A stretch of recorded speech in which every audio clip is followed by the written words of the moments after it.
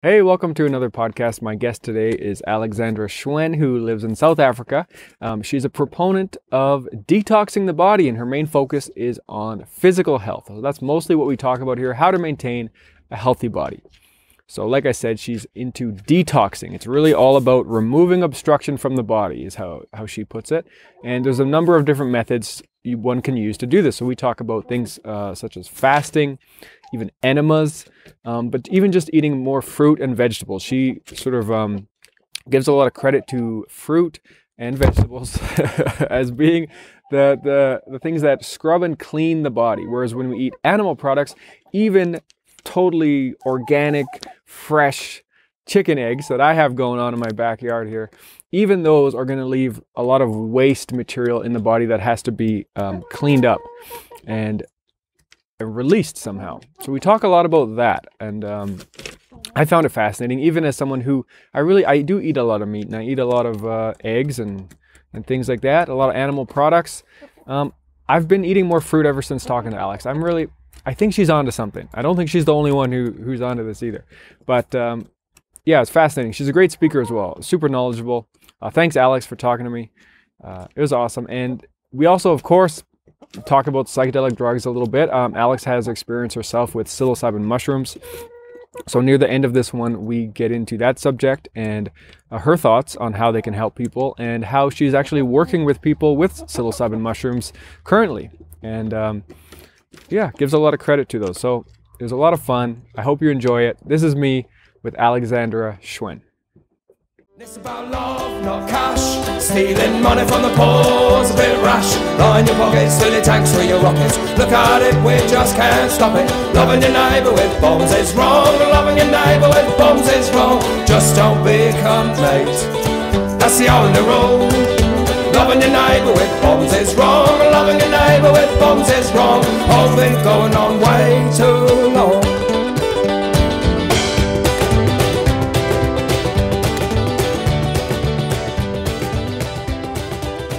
Start with this story. Um, it's about cleaning up my shop, right? So this summer I had a lot of projects going on. We just bought a house, and I had I built a chicken coop in the backyard.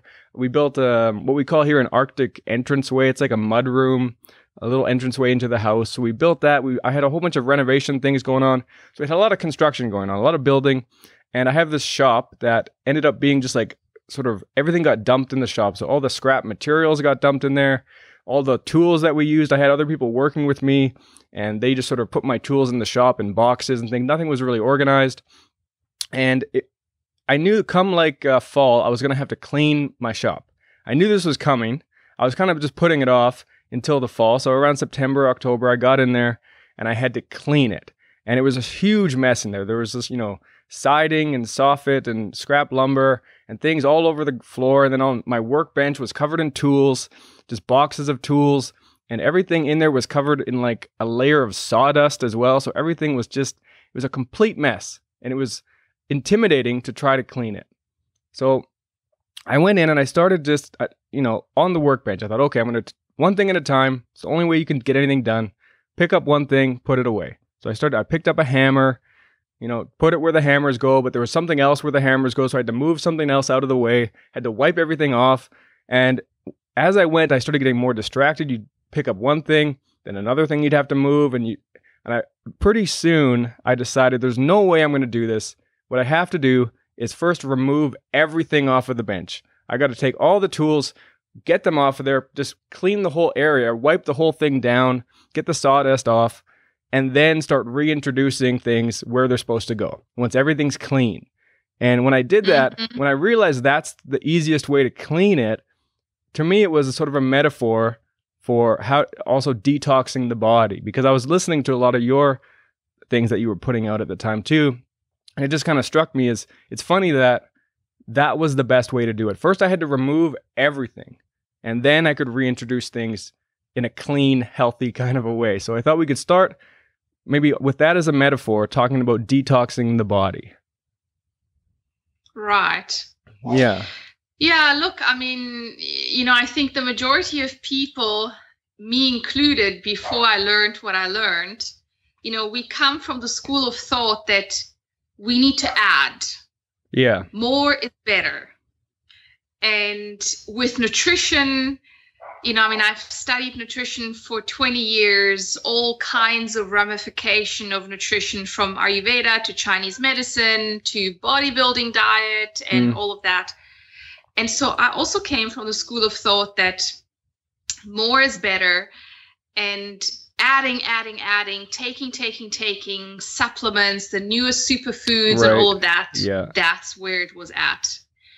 And I kept doing that. You know, I bought stuff, I bought supplements the way other women buy shoes and dresses. right, yeah. You know, I would import them from all over the world and I would chase them down and the latest but nothing was really shifting in my body. And the older mm. I got, so when I was 39, I sort of just really started feeling so completely run down, and then mm. things started to accelerate until my body felt completely depleted, and sort of I had this huge health crisis at my hands. And I thought, how did this happen?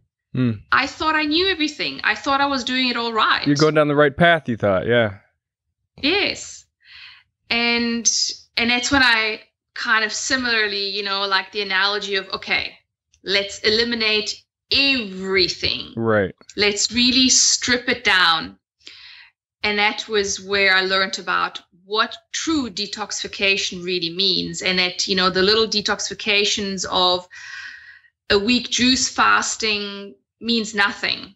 Hmm. or you know eliminating a few foods means nothing if you really want to strip down your body, if you really want to start detoxing the body, you need to start from kind of ground zero almost. You need to strip down to skin and bones. I mean, I'm hmm. exaggerating, mm-hmm. but essentially, that is what we're doing with right. detoxification. That seems to be your uh, like the biggest message I see from you on say Instagram or things like that is this idea of just cleaning things out and getting like you're you're, bit, you're very much a proponent of fasting, and uh, I've tr- we yeah. my girlfriend and I tried that. Um, we tried it twice, and I, I have very little experience with this. I've never fasted before, so we just did a fast for a day, um, two times on a Saturday. You know, the only day we had available that we could possibly do it, and it was pretty challenging. I'll say that much. It was hard not to eat all day. That's you know, you can just say like, "Oh yeah, I fasted for a few days," but man, that is challenging to do. I, um, and I knew going in, what I had read about was that we should be busy, right? Don't just sit around the house like bored, because that's going to be even harder. So we kept fairly busy when we did it. Um, we had little projects to do, so we, we worked on stuff, and we knew we were going to be a little bit irritable, so we were just very kind to each other as as we went, and that was helpful. Um, but I would say, yeah, the evening was very difficult to not eat. Um, um, but we found after the first day we did it, we found the following day we had a very high amount of energy. It was it was actually odd. We weren't expecting it.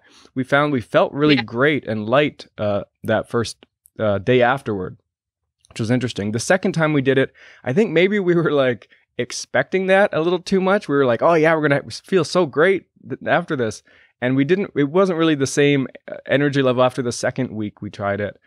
Um, but it was interesting. I, I really enjoyed the uh, fasting just mentally. The um, sort of learning about what it is to be really hungry and that that feeling, that desire we have that when when you get so hungry, the the cravings, like just the the mad craving to just eat is it's very hard to overcome. And so fasting was an interesting experiment at the very least for me. Um, but maybe you could talk a little bit about your practice with fasting because I know you do a lot more than just fast for a day. Yes. so I mean, again, you know, the the the focus for me for detoxification is all around removing obstruction. And that is what I teach people that nutrition has actually nothing to do with adding and it's got everything to do with subtracting. And it's not about subtract because subtracting what? Not subtracting nutrition, mm. but subtracting obstruction from the body. Hmm. And we need to understand that really 95% of the food, and I couldn't believe that for years. You know, it took me quite a long time to really kind of get my head around this because initially, what I now consider natural, I started out considering way extreme. Hmm. So, you know, it was a journey of learning and unlearning. But what I've learned on this journey is that really 95% of the foods that we tend to consume, and certainly 95% of the foods that we can buy at the supermarket, are not really even made for human consumption. And that, strictly speaking, what we should consume, at least you know 80 to 90% of the foods that we should be consuming on a daily basis is really fruit vegetables and then the rest we can sort of leave at whatever hmm. so you said, you, you said like. 80 to 90% is that what you said yes 80 to 90% of fruit so so what comes up for me right away when I hear that is like, what about getting enough calories? Like just getting enough to sustain physically and to be if you're an active person if you live in a cold climate like i live in a cold climate where i think you need a little bit more calories i don't know and also just the idea like fruit doesn't really grow here that well either so but now yeah. obviously we can get shipments of fruit it's not that you know the grocery stores are full of fruit and veggies so it's not really an issue um, but yeah what about just just calories well, calories, you know, another thing I've learned calories in is not equal calories out. And it actually calories again don't mean it's not all about calories and that the mm. body can really adapt and you want it for longevity purposes you want mm-hmm. your body to adapt to actually have a slow metabolism you know mm. i've spent certainly the first part of my life trying to do everything in my power to speed up my metabolism, as right. most women and as most people. For weight loss. And then I've learned. Say again? For weight loss? Yes, well, for weight loss, and also because it was like, well, I love eating, so if I hmm. have a high metabolism, you could eat more. I can eat a lot of food, right, and not gain weight. Yeah. You know, I mean, that is how we think. That's how most women think. Right. And until I found out that actually having a high metabolism means you also age faster because naturally we are running this motor, you know, like a car. If you continuously mm. rev it, rev it, mm. rev it, yes, it burns. Right, right. But it kind of also, you know, it's It'll got a shorter out. lifespan. Hmm. Right. So that sort of, you know, really also shifted my thinking and and the reality is that we can train our body to become a lot more efficient and there again as same thing as with a car right if the if the fuel filter i mean not that i know about cars but you know mm-hmm. i mean mm-hmm. the basics if the fuel filter is clogged up if you know the right. the um, engine and so forth is clogged up it's mm-hmm. not going to run efficiently it's going to guzzle yeah. more gas it's going to take more maintenance but if everything is clean and pure, mm-hmm. you need a lot less fuel and you right. need you don't need much else, you know, it's just gonna drive. It'll and so the yeah. same thing goes for the body.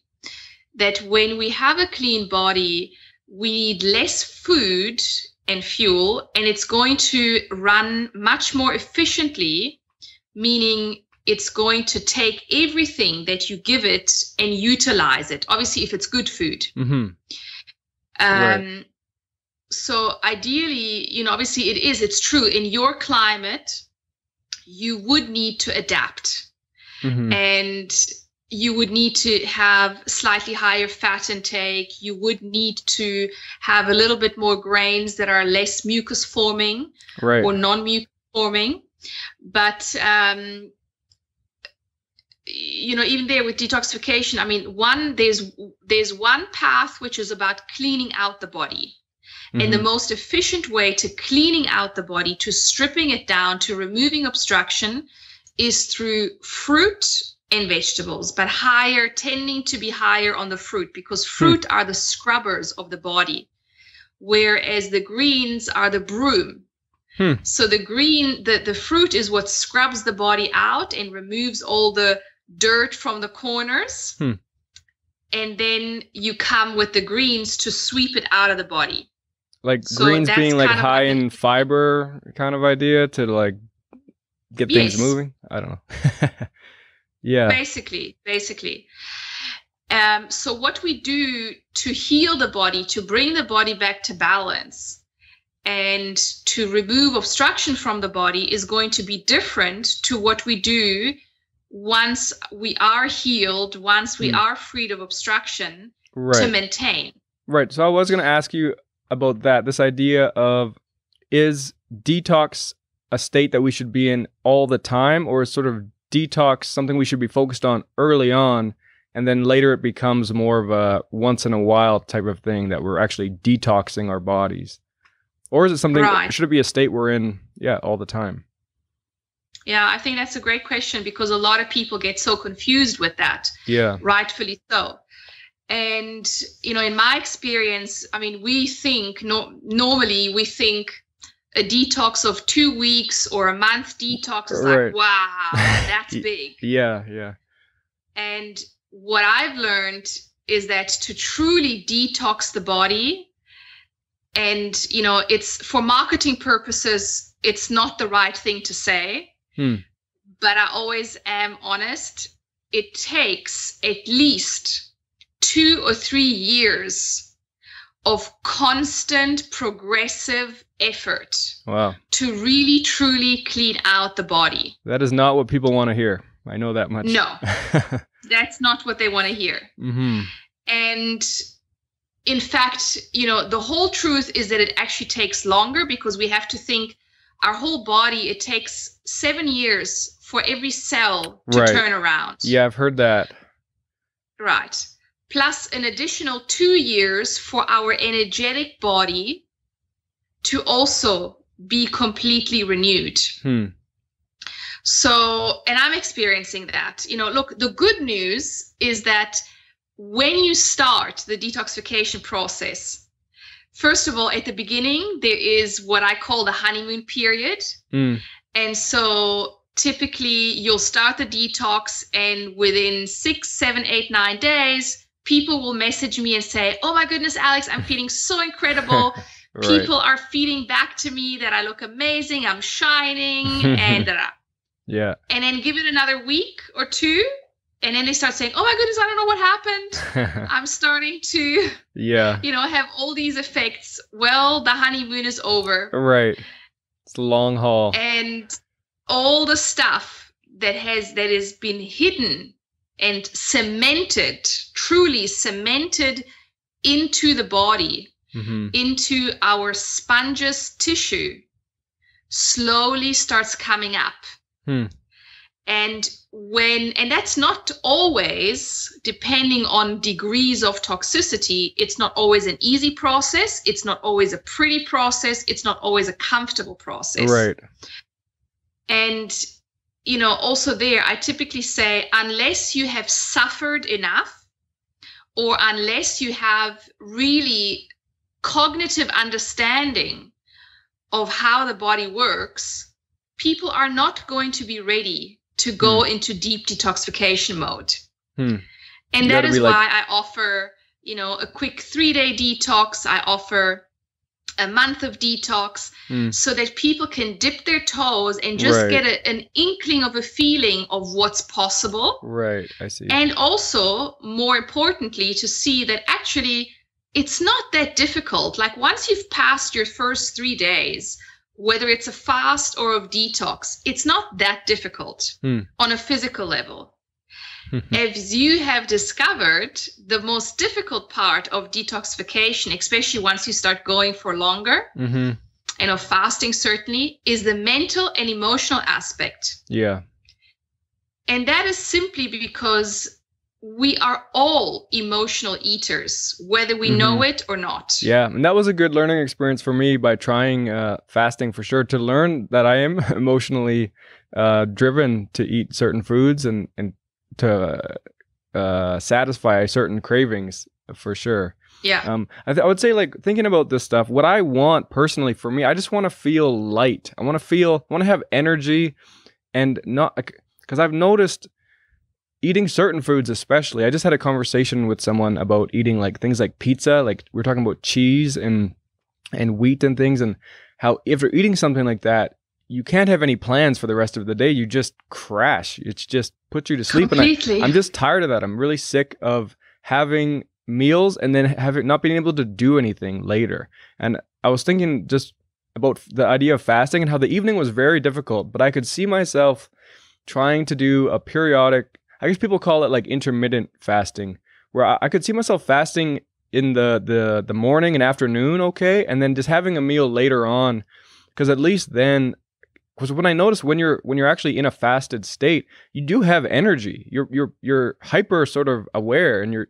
It was funny too. I had sort of thoughts that maybe um, once I was fasting, I wouldn't be able to sort of concentrate well enough. I wouldn't be able to do things, but that wasn't the case. I was doing, we were doing construction projects while we were fasted in the house, and we were doing all sorts of stuff that required sort of computing and thinking about things, and then physical work and things. And it was okay. We were fine, and that was uh not what I had expected. I, I, I thought maybe I'd start to get lightheaded and feel foggy, and you know, but that yeah, that wasn't the case at all.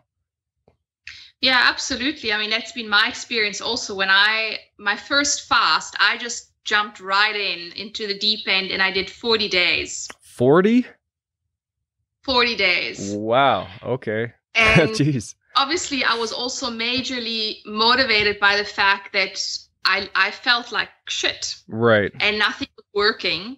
And so I thought, okay, let me just do this, dive in. Hmm. And yes, there were some moments of weakness, but ultimately, overall, I had a lot more energy than I had experienced for years. Hmm. And when I, you know, and now, obviously, now that I'm four years into this process and I periodically fast and I'm constantly stripping away and rebuilding, I have more energy than I actually ever recall having. Hmm. Because I remember even as a child, I was constantly tired. Hmm. Obviously, I grew up in Italy, so I was literally brought up on bread, cheese, right. later wine, pizza, pasta, you know. Right. So constantly these foods that sort of really make you groggy and sleepy. So I remember even as a 12 year old, I was slow. Hmm. I was slowed down. And I remember looking at other kids that were sort of hyper because that is the other possibility, you know, depending on whether you are more acidic or lymphatic, Hmm. then you will, your, th- this bad food will affect you in a different way. Right. Both are detrimental to our health, but the one looks better, Hmm. whereas the other one looks worse because when you're lymphatic, you slow down. When you're more acidic, your body sort of starts burning Uh, and churning away. And these are like these people that are like super hyper, but actually they are completely dep- depleting their adrenal system. uh, know? yeah, yeah, I see. I see what you mean.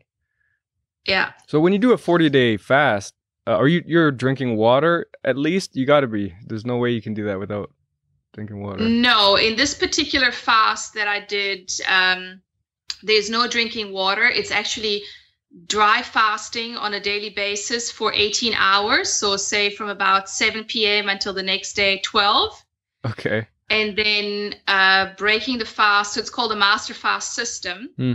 And um, breaking the fast with grape juice. Okay. And so it's grape juice, herbal tinctures, and then some binders to bind the toxins that are being released. Hmm. And that is it. So you drink grape juice in a six hour window and you take your herbs and binders, and that is it. I see. Okay, so you have something at least to hydrate the system, a bit of juice, and then something I guess, to like you say, bind things or pull things from you and clean it out as you go. That's right. Yeah. I see. Okay. Um, let me see. The other one thing you mentioned was uh, mucus in foods, and that's something you seem to mention a lot in a lot of what you put out as well. Uh, maybe you could talk to me a little bit about why foods that create mucus are are bad for people. Right. Well, obviously, mucus is is sort of the basis really of any disease because we must think foods that create mucus are essentially all animal products, all glutinous uh, foods, so your wheat and oats and stuff like that. Mm-hmm. Um, rice also to a degree, especially white rice, because when you cook it, the more you cook it, the more glue it becomes yeah, that's true. so anything that sort of you know becomes a gluey paste Mhm. when we cook it and when we feel it in our hands we Yeah. must just imagine what does it do when we ingest it right. So you need to build up mucus in order to move that through your system.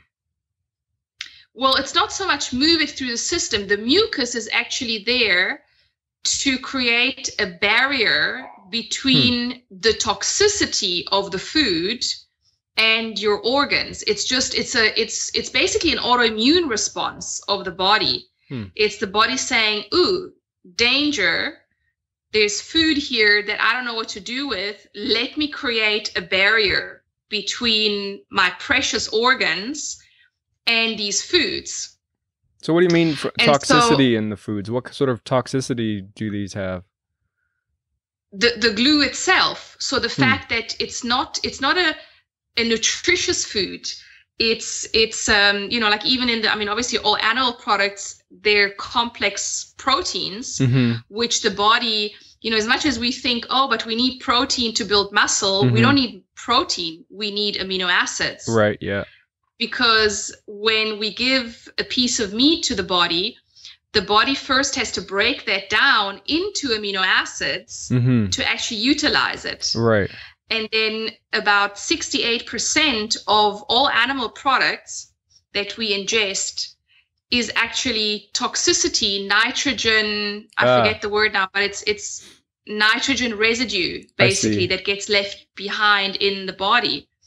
So you're creating waste by eating animal products versus when you eat um, plant-based protein like legumes, even though they still are mucus um, forming, but not nearly as mucus forming as animal products. Okay. And there you get left with a residue of about 18%. So 68% versus 18% in, in, in the plant, plant-based proteins. Mm-hmm. So that 68% of residue needs to be metabolized, need, like the body needs to do something with it. Mm-hmm. And the thing is, the body cannot break all of that down because it simply is too much. And at the same time, because we t- generally keep ingesting every day more and more and more, it's not like we have, you know, protein or something mucus forming once a week, mm-hmm. which would mean, well, there's enough time for the body to break that down. Right. We are constantly typically ingesting three mucus forming meals a day. yeah you know, which is complete insanity. And so, no wonder that we have no energy when we mm. consider that it takes about six to eight hours for the body to break down um, proteins or complex carbs. Right. Versus fruit, which takes 40 minutes to an hour, depending on what fruit and how much, you know, and then it's through the body. And hmm. similarly mm. with vegetables, maybe two hours, depending on what combination. So there again is where does our energy go? Our, all mm. of our energy goes constantly into digestion. And that is why we have no energy for creativity, for life, for movement, for right. being present to life. Right. So you're talking about things being more efficient. Just it's just being more efficient for the body to break down plant material than it is animal tissue and things. And that the mucus maybe is just a sign that that food is just going to take a lot of energy to break down. It's not like the mucus itself is necessarily bad for you. It's just sort of a, a symptom of trying to digest that type of food. Completely. And yet, obviously, the, the mucus is bad in the sense that it gets formed as this protective layer. But then, because the body doesn't generally tend to get a break because like i said we tend to eat constantly mucus forming foods hmm. so then eventually this mucus that doesn't get um, an outlet, it simply starts building up in the body and eventually it starts hardening. Hmm. And when you think about it, we all know what mucus looks like and feels like now, mm-hmm. and we all know what it looks like when it hardens hmm. from our nose. Yeah, when you get a cold now, or something. Yes. So now imagine all this mucus in our organs, in the kidneys, in the liver, in the lungs, mm. in the colon and we're slowly over the years layer by layer it starts forming a lining hmm. around mm. the colon around huh. the gut around you know in the kidneys right. that is really what obstruction is so if you're and yeah if you're talking about detox um and how it can be uncomfortable just imagining these things that have been formed in our body breaking down and then having to release out of us some way that probably isn't going to feel that great necessarily as you feel your body breaking itself down and, and changing physically. Completely. Yes. No, I mean it's it's actually quite a radical process. Um, you know, in a, in a sense, luckily or unluckily, I'm sort of like I just throw myself into things and then I ride the wave as it comes. Yeah. But there were certainly times when I was doing my when I was going through my detoxification process where I thought, "Oh shit, I've done it." You know, this is the Uh, end of me. Right. Um, so I, I want to talk about um, more about this idea of, of release. I want to get into that.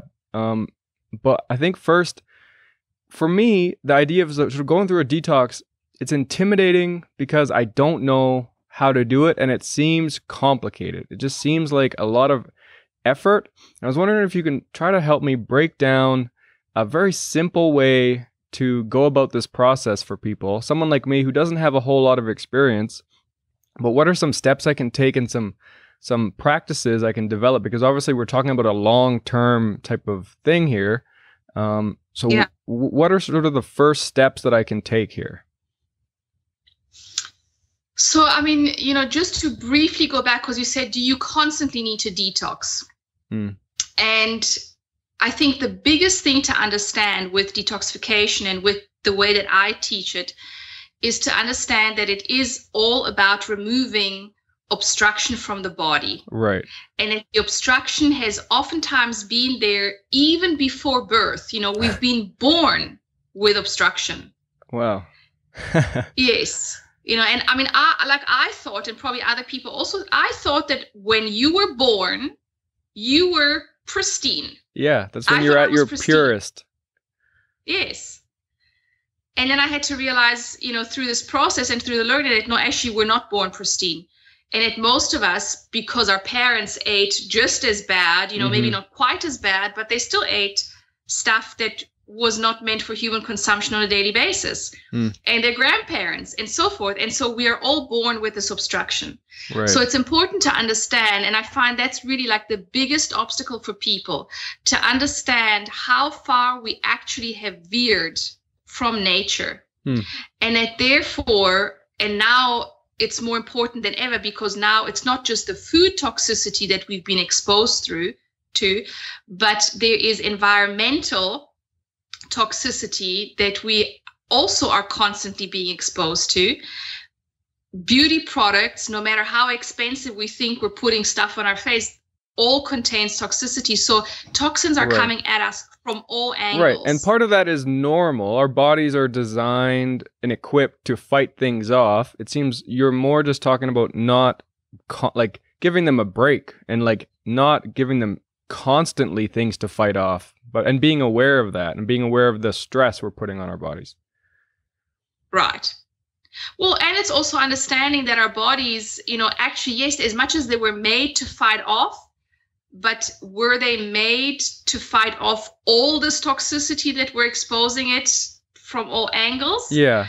And knowing what I know now, I can tell you that, and I'm still not super pristine. I almost make a point to every now and again have some so called mucus forming or poisonous foods so that I can kind of, you know, I don't become too pristine, basically, so that I can still cope, you Mm, know, with yeah. life Right. because I'm not ready to go live. I mean, yes, we live in South Africa and things are pretty pristine here, but you know, I'm not ready to live in the hills of Kauai and sort of just and know shut off from the system. Yeah, yeah. exactly. I need to and want to operate in life. So I'm aware that I don't want to become too clean so that then I become too sensitive Right. Yeah. to everything. And so I still expose myself, but I can tell you that I've never, I know I have never operated in such a clean body as I have now after four years of detoxification. And it's a whole new life. so yeah, so that's Because appealing. What I'm discovering Oh, go ahead. Sorry. Yeah. yeah so it's a whole new life and and that for me is really where the whole fascination with detoxification comes in because it's not just the body it's the level of consciousness Hmm. that evolves out of a clean body And so, you know, I mean, I've been on also a whole spiritual path for the last 20 years, and I kept doing so much work on myself sacred medicines and meditation, and working with shamans and working with gurus. Mm. But oftentimes I felt like, gee, I'm doing all this work, but it's kind of as if it's not touching sides because I fall back into my old matrix. Right. Why is that? Until I started cleaning out my body and literally working on myself on a cellular level. So cleaning out the cellular waste and cellular memory hmm. and replacing it with new pristine information. And that is where everything started to align. Hmm. And where all the work that I was doing on myself spiritually started to stick. Hmm. So I've had a couple conversations, and this is going a little bit. Now we're I'm getting a little bit uh, a little bit out there, but so I've had a couple a couple chats with people about this idea that consciousness um, it doesn't exactly develop from the brain or from our bodies, but that we're sort of antennas that pick up a frequency. And, and to me, Completely. it kind of speaks to this idea that if you can dust off and clean up the antenna, you're going to pick up a better frequency. You're going to get a higher level of of consciousness in some way, however that works. Um, but let's go back to some just to simplify this idea because it's appealing like what you're saying right now i'm like yes i want to get there that sounds great you know but how what are some steps that i can take some really just practical things that i can do yes. now to get there sure so what i recommend for people is simply start by removing all animal products hmm. And i know that that sounds simple and again i don't come I did not come to veganism, and I'm not even 100% vegan, you know, about 95, 98%. I didn't come to veganism from a political or emotional perspective. I simply mm-hmm. came to it from an understanding that there is no way that you can heal and regenerate your body at a cellular level with animal products. And I've experienced that myself. I've tried for years to still have a little bit of eggs, a little bit of fish, and to and it wasn't working for me. And I hmm. realized that the minute that I left out all animal products, that is when things really started to shift for me. Hmm. So leaving out all animal products is step number one. And simply becoming there also conscious that when you do consume animal products, if you really feel, and it's never a physical need, never, mm. it's only ever an emotional need and so, if you do have the emotional need to have some animal products, to then be very conscious where they come from and to sort of choose the cleanest source possible, mm. as wild as possible, as natural as possible, as uncontaminated as possible. Mm-hmm. We've so I've experimented with that. Um, I've been experimenting myself with diet changes and things because I've and we you know, we watch a few documentaries, say on like Netflix, these things that show how um, cows and chickens are being abused, and it's a and we saw my girlfriend especially had a an emotional uh, response and a reason for trying not to eat that stuff. And what we've kind of done is because we live where we do, um, we have access to like say moose meat, um, wild salmon, and stuff. So we have been trying to eat a lot more like that, like eating elk and caribou, and not as much um, factory farmed meat. But we still do consume a fair amount of meat. And I got chickens in my backyard, so I'm just collecting eggs from them. I've been doing things like of that nature, right? Trying to source the animal products I'm using in a from a better way. Yeah. But so this I for me, and, and I think the culture up here as well, it's a big hunting culture up here in the Yukon. There's a lot of people hunting moose and things like that. So to try to tell people here to not eat animal products, it's gonna be a very hard sell. And even for me, and I, I'm not even I'm not a big hunter, or things like that, but it's a difficult idea. And for me, I've tried going semi just for days at a time trying to go vegetarian and it's very difficult i, I get cravings i think perhaps i i need i could get better at using things like chickpeas and lentils and things to supplement that protein because maybe i just wasn't doing it in a good way. Um, but it's just it's a hard idea for me to to latch onto and go okay no more animal products. That that would be very challenging for me Well, again, you know, I mean, it's always, it depends to what degree you want and need to take things. Mm-hmm. Because when you are at a point where your body has broken down, where you have actual health issues, Right. and your bowels aren't working properly, and, you know, whatever, I mean, any health issues that you have, at that point, you do have to go as radical as that in Mm. order to re to bring back balance to your body by removing obstruction Right. And then afterwards you know like for me also there was periods where i was very very strict with that and then now i find i can play a little bit and at the same time i also realize that when i do have animal protein it does slow me down Mm. and i realize more and more that i only really have it for an emotional attachment Hmm.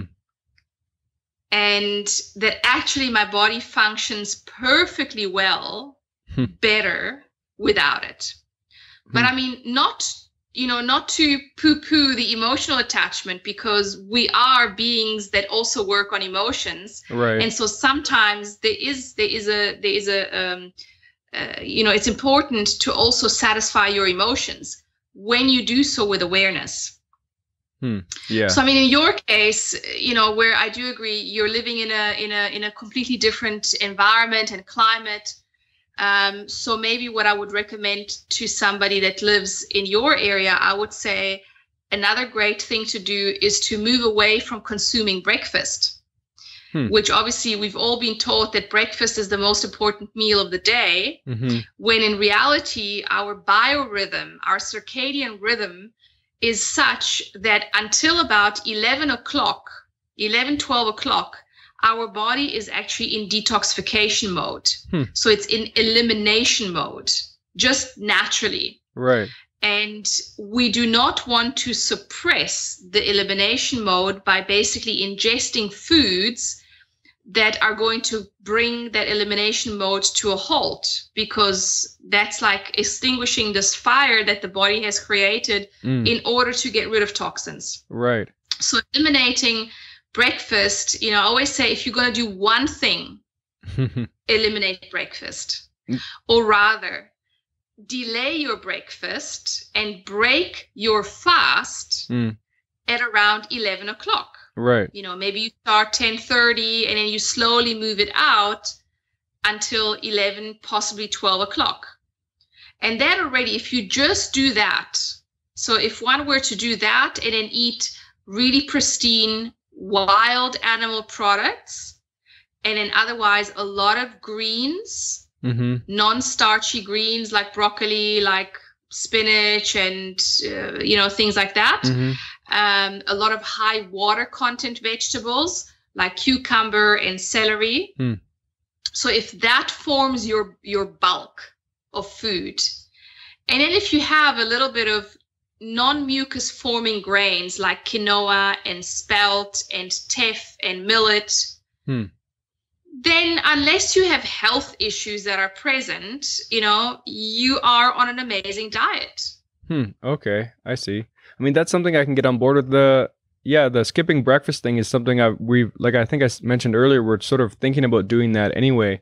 Sort of having a yeah intermittent fasting is what people call it. I think where you just you, you delay that first meal. Only that intermittent fasting is you're still consuming um, drinks, whereas I would advocate to dry fast. Hmm. oh yeah, that's so what I was thinking. Is maybe a green tea, but you'd say don't even do the green tea or coffee.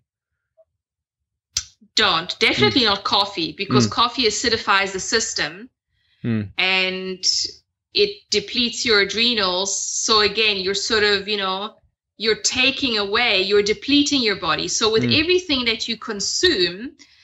Uh, another really important thing to consider it's kind of like step away from the concept of vitamins and protein and carbohydrates Okay. um, and focus on is the food that i am taking is it high in in nutri- in nutrition so is it high especially in minerals Hmm. because we are an electric body and minerals is what fuels the antenna Hmm.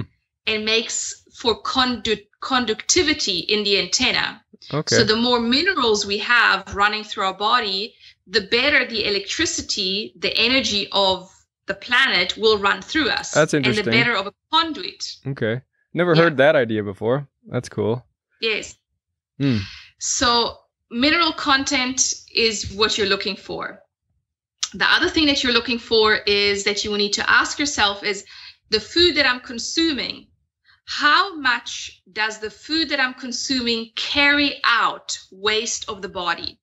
So for example, Hmm. when I'm consuming an apple, the apple has fiber, Right. and we know that fruit is the scrubber.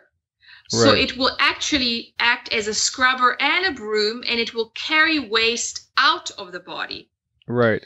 When I consume a steak, no matter how pristine it is Yeah. and how wild, it's not going to carry anything out of the body. Hmm. But we know that by nature, it will leave a residue. So that's the question number three. How much residue, how much waste, how much obstruction does the food that I consume leave behind in my body? Right. Yeah. And so oftentimes people will say, oh, but you know, I follow the paleo diet Mhm. or ketogenic diet Yeah. and you know, hunter gatherer, da da da da da. yeah. And it's like, sure. Yes, if you were to live out in nature and you were to go and hunt for your own food and you were to really have to nourish yourself the way Mm. that it used to be, Right. how often are you going to go out and kill an animal versus how often are you going to run into the Garden of Eden and pick fruit? Right. Or if there's no fruit, you know, if you have your choice, are you going to go and, I don't know, eat berries or leaves or carrots or whatever basically grows easily? Or are you going to every single day go and hunt and kill? Hmm. Yeah. Right. you know so it's kind of like using if you really want to go the route of hunter gatherer if you want to use that analogy and you identify with that then still you need to realize that those people were not eating protein three times a day No. and that they were most likely they had periods cycles where they would eat a lot of protein because Yeah. there were no fruit growing Yeah, that makes sense to me. Yeah. Yeah. Cuz I mean, you can like they would you can kill a, a large animal like a buffalo and that will feed uh, a group of people over a period of time, but I think it probably is true that it, something like that would be more in cycles and more periodically. It wouldn't be a constant supply necessarily. Right. And also, there were no nice sauces to go with, and salt and Yeah. flavors. You know, so how much were these people really eating? Mm-hmm. Yeah, I see what you mean. It's it. I'd like to try it. I think. So you think if I say were to do sort of that the morning fast, I suppose, and try to eat in that way, or just just consume more vegetables, more fruit in general. Um, is would I need to also? Do you think? I mean, I guess need is sort of a you know it's it depends what I want, I suppose. But would you recommend also doing longer term fasts and things like that, or like doing like enemas? I know you've talked about that, or Yes, I mean, definitely enemas are a big one. And I have people fight me over it all the time. mm-hmm. And it's usually a deal breaker for people Yeah. when they hear, you know, love everything I have to say. And then when I go, okay, and we're going to do enemas, yeah, yeah, I not can that. understand that. but at the same time you know i've guided enough people to know that pretty much everybody falls in love with doing enemas it sounds silly Is that right? but that is what happens Because it feels because good. once you start seeing what comes out of you Mm. how much stuff is literally stuck in your colon Mm-hmm. nobody believes it until they see it for themselves nobody Mm. Yeah, I've never done it. I've never done that, but I, yeah, I'm curious. I'm curious to see. it's it's unbelievable what gets stuck in the colon Hmm. and you know some people also they don't like doing enemas so then they go for colonics even though obviously enemas are a cheaper because you can just do it by yourself Mm-hmm. colonics are also great they do go deeper and certainly when you do go for a colonic and you see what comes out of you like if that's not enough to motivate you Mm. to really clean your colon out, Yeah. then nothing will. And at the same time, the feeling that comes with releasing all the stuck matter from your colon, Mm. which we mustn't forget, our colon and gut is is linked to our brain. It's linked to our immune system. Right. You know, so it is all it's all linked. Yeah. And it's so interesting. Oftentimes, when people start doing enemas, like for example, I mean, it's a silly example, but it's funny. hmm When my husband gets all grumpy and irritated because he's doing the fast or, you know, whatever, Yeah. I you know what? Just go do an enema, please. Just go now. what? And he'll Yeah. go, you know, like you, and I say, you're full of shit. Just go do an enema. Hmm. And so he'll go and do the enema and he'll come out and he'll be a different person. Hmm. Light, in a good mood. you Releases know, so something, It's, eh? such a, yes, you release. And oftentimes I had that, not so much now because, you know, I feel like I've released so much. But in my early days of doing enemas, I would literally have very strong emotions or me- old memories that would come up while I was retaining the enema. Hmm. And I would think, gee, I haven't thought about this old hurt or trauma in ages, Mm. or this memory of childhood or whatever. And then I would release it and I'd feel amazing. And so that is because emotions are trapped in our tissue. You know, like I don't know if you've ever heard the term, the issue is in your tissue. no, I haven't. But I have heard that that we do, and it's a funny idea, but that we store feelings, emotions physically as well. A hundred percent. So we, I mean, again, you know, um, we all know that water stores information. We are 70% water, hmm plasma, but water. And so that is where we store in in the water of our body, which every cell contains water. That is where our emotions are stored. Hmm. And and then obviously it's distributed in different parts of organs and tissue. For example, our fascia. Have you heard of fascia?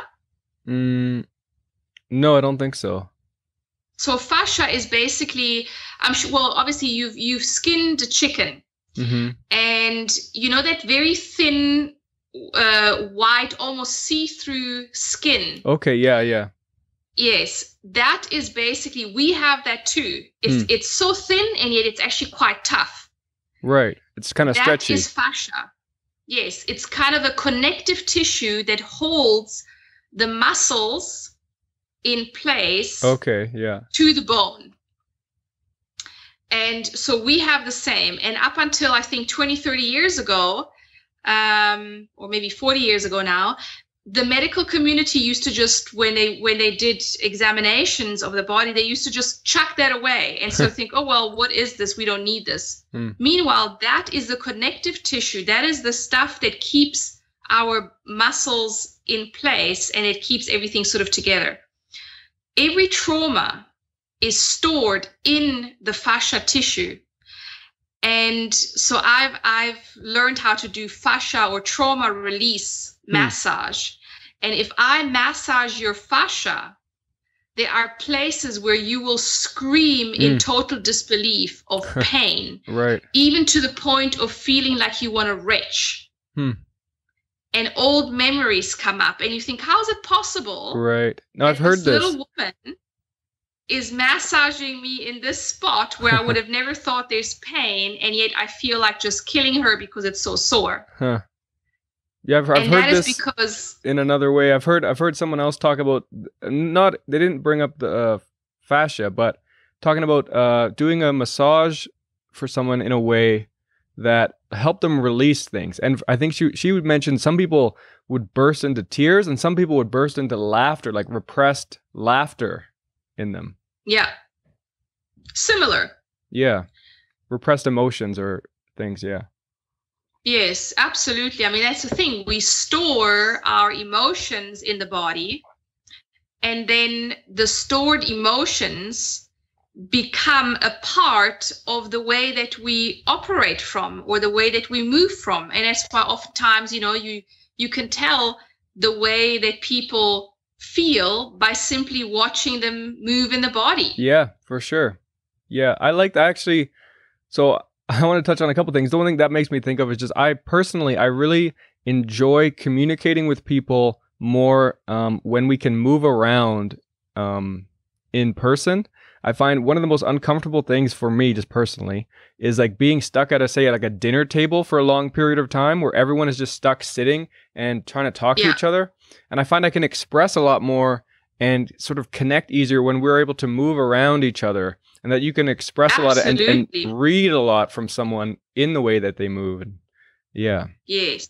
Yes. Um, but one thing, so I do want to touch on an idea I had thought about a lot um, in sort of preparation for talking to you and thinking about something I've talked to a lot of people about is is healing um, in lots of different ways. I've talked to a lot of people who help heal people with psychedelic medicine or drugs, um, but I've thought a lot about the idea that healing in general is sort of about release and being able to release things out of you, and that could be emotional things or it could be purely physical things. You're like we're talking about detoxing, but just the idea of like talk therapy, the reason like counseling can work for people is that I think by being able to put even just language to stories or ideas or emotions that are within you, you're able to release them by just speaking them. And that's even a release. And that uh, it's this way, it's this thing that for people to move on from something or move through or past something, they have to expel it out of their body because we're always taking things in, like you talked about earlier physically we're just constantly consuming things we're thinking more and more and more but we have to get better at expelling things out of us and like these psychedelics seem to have a place for helping people do that sort of uh, you could say mentally or spiritually or emotionally um, yeah i would say on all levels um, i find talk therapy can be useful for sort of very beginners. Mm-hmm. You know, when people are really shut down and they've never done any work on themselves. Yeah. Then talk therapy can definitely be useful as a door opener. Yeah. But ultimately, I have found, you know, I got to the point where talk therapy was doing nothing for me because with talk therapy, we can fool ourselves yeah, sure. and the therapist.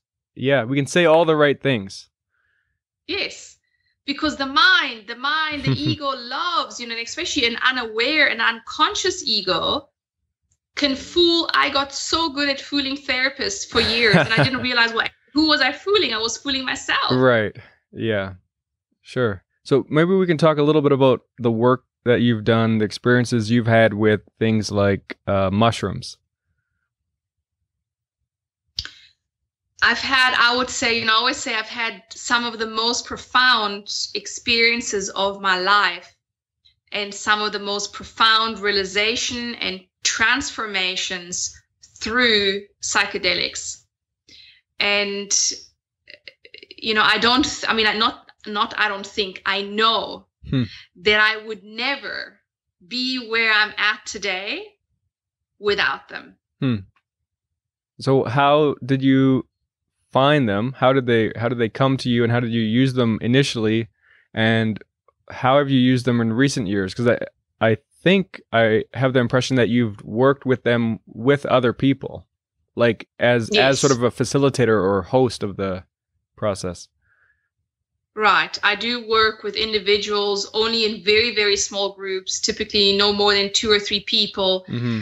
Um, I came to them, you know, it, it's interesting because I was like in school and later in university, I was your classic goody goody girl. Okay. Like, as in, you didn't know, really do drugs or things. Yeah, I didn't do drugs. I didn't really drink alcohol. Like, I tried mm. to to fit in Mm-hmm. You know, I did my best to kind of fit in. Yeah. But it just never suited me. I, I never even really got it. Like, why do people get drunk and act weird? Like, for me, that was just, it didn't work. Right. And so it's not like that was an entry point for me. And only much later when i started to really do deep um, spiritual work on myself and when i had my so-called awakening in my mid 20s hmm. i started reading the books of carlos castaneda okay. and and you know that sort of um, shamanism and sort, of, of shamanic. Yes i got into shamanism. I found the books of shamanism and so I got I approached the medicine world from that perspective, and I'm actually so grateful that that was my entry point. Right. Yeah. Because it it felt like my entry point was using these plants from a really deeply reverential and sacred uh, perspective. Yeah, like at least you had that respect early on while while Huge. using them. Huge, yes and then you know looking back i mean i always i always had a very deep love and passion for plants in general or for botanism like there mm. was hmm. something that kept drawing me in right and and so definitely you know that was i think already the plants were speaking to me like i saw mm. them always as sentient beings as as beings with deep deep wisdom I didn't know it at the time.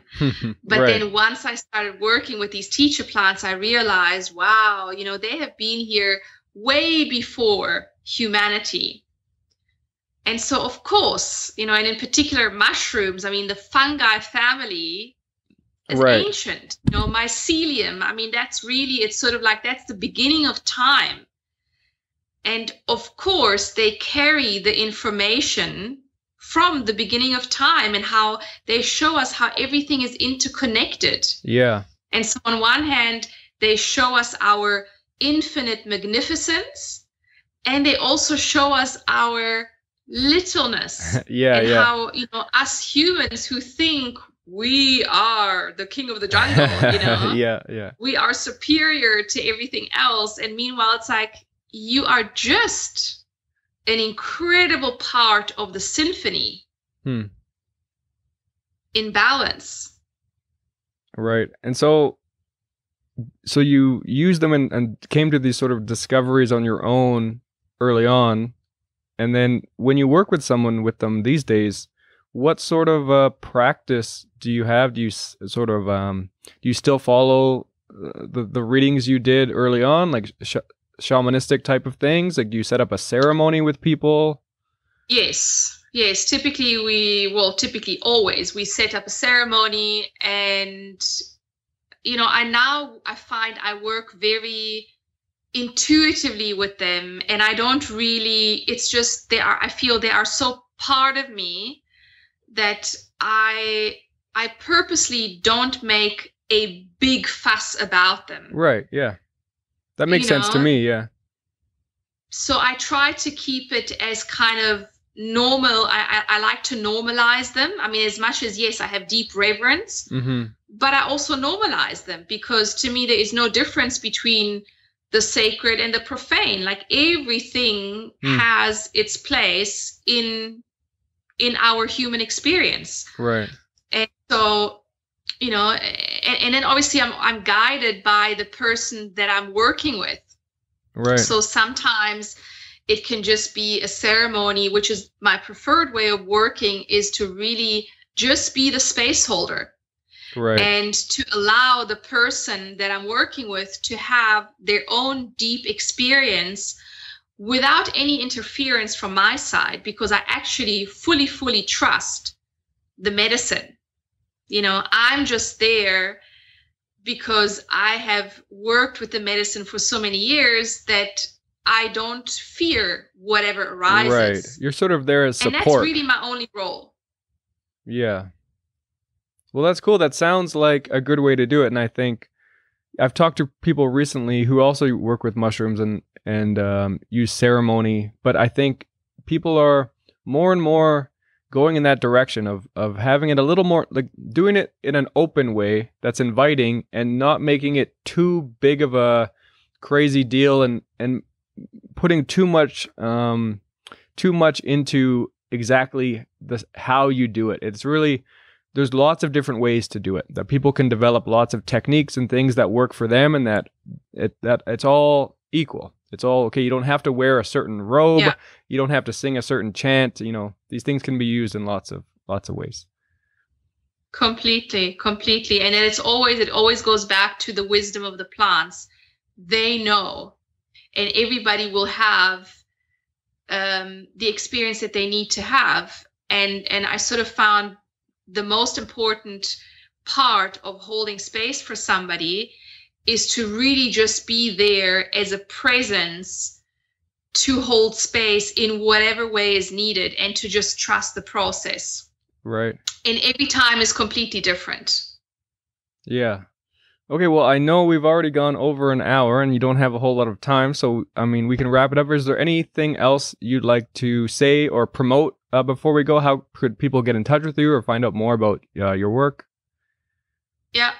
So I mean, essentially, people can find me on Facebook. I'm I'm setting up my web uh, page finally. Hmm. I, I I sort of in that sense I'm quite resistant or have been quite resistant uh, to formalize my work Mm. because I like to keep very very liquid. Mm. Um, but at the same time, I find now you know the time has come to sort of formalize it because people like to see well you know what's your web page what are you about yeah. and so it's it's it's about to to be launched Cool. but i'm on facebook as alexandra schwenn which is my maiden name Hmm. and um, i'm on instagram under living mucus free and so you can just contact me and you know if you resonate with my work i do deep one-on-one work and then i'm also starting to do more of group coaching and sort of you know bringing a little bit more uh, structure into the way that i work And I, like I really enjoyed just uh, seeing what you're putting out on Instagram. That's generally how I get a lot of uh, the stuff from you, and you put out quite a bit. I would say it seems like almost daily you're you're putting out uh, new messages and new things. So yeah, thanks for the work that you're doing. I really I really like it. thank you yes thank you for yeah for having me and Yeah. thanks for your openness Yeah, it's been a lot of fun. Thanks, Alex.